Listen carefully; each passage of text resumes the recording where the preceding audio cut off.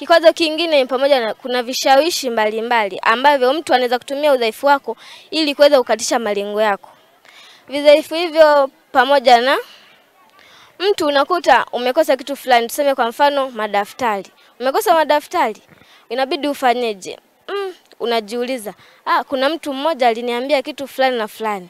Kwa hiyo inabidi niende nikafanye kitu hiki ili niweze kupata ili daftari. Kwa hiyo unaenda kufanya, kwa hiyo inatokea unaweza kupata hata ujauzito. ule, ule unavyopata ujauzito ukiwa katika masomo yako unakatisha malengo yako.